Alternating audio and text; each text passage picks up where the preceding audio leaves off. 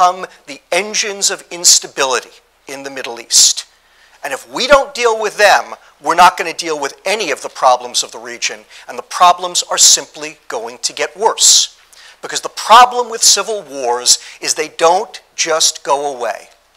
They get worse, they spill over, they spread.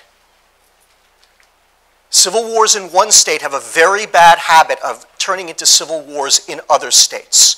The, the spillover from them seeps into the fissures in those societies, pries them apart, and all of a sudden you get a civil war in one state causing a civil war in another state. The